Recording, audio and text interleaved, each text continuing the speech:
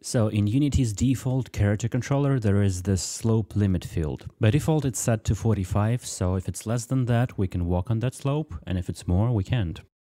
And if we jump on such a steep slope, we'll just stand there doing nothing, because there's just no built-in support for slope sliding in the character controller component. Just like there is no support for gravity, for example. If you remember, in the first video in this series, we had to add support for gravity ourselves. Luckily, slope sliding is going to be very easy to add. We'll just detect the ground below the player and we'll look at the angle between the player and the ground. And if that angle is greater than the slope limit, then we'll modify player's velocity to make the player slide. So in our player script, in the update ground method, we're going to call a new method called update slope sliding.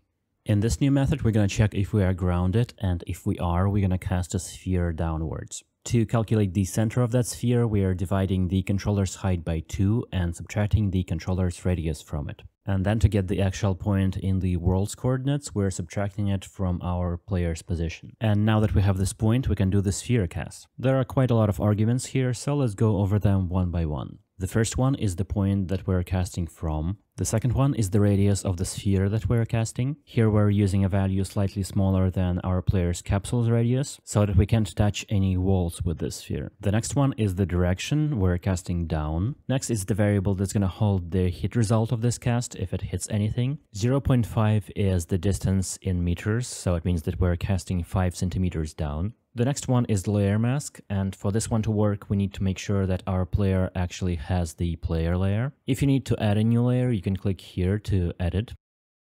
And the tilde sign here means bitwise not. So basically what it means is that we're interested in anything that is not on the player layer. If we don't do this, the first hit will obviously be the player, because we're casting from inside of the player's capsule. And the last argument means that we're not interested in triggers, because obviously only a solid collider can be our ground. A trigger can't be. If this cast hits anything, we're to take the angle between the up vector and the normal vector and put it into a variable. And you know what, before we add the slope sliding, let's first visualize some things to get a better understanding of what's going on. We can visualize the normal vector like so, just to make sure that it is what we are expecting it to be. And let's also draw the current angle on screen. Now, unfortunately, there is no debug draw text in Unity. It would be nice to have it, but unfortunately you can only draw text on GUI or on draw gizmos. What we can do though, as a quick hacky workaround, is we can add a new action called on next draw gizmos.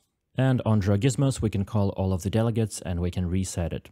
And now in our slope sliding method, we can say that on next draw gizmos, we want to set the GUI color to black and draw a label a little bit higher than our player's position, and it's going to show whatever the current angle value is. The handles class itself is from the Unity editor namespace, so let's not forget to include that. And now as you can see, it shows us that here, for example, the angle is 35, and here it's 46.